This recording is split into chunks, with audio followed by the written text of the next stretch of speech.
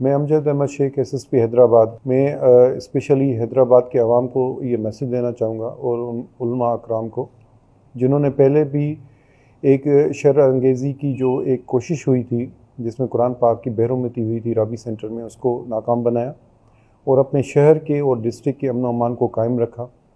उनकी मदद की आज फिर ज़रूरत है और उनको मैं ये बताना चाहूँगा कि ये जिसने भी साहब अकराम की शान में गुस्साखी की है उनके ख़िलाफ़ एफ़ आई आर दर्ज हो चुकी है और उसमें तीन मुलजमान हम गिरफ़्तार कर चुके हैं, जिसमें जहेब, जहीर पवर और शबीर मल्हा मौजूद है।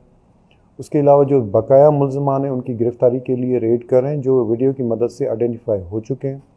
इन ताला हम बहुत जल्द उनको भी गिरफ़्तार कर लेंगे। सिर्फ़ आवाम से मेरी ये अल्तमास होगी कि वो अपने आप को, अपने जज्बात को कंट्रोल रखें और उन शरंगेज़ों की शरंगेज़ी से दूर रहें।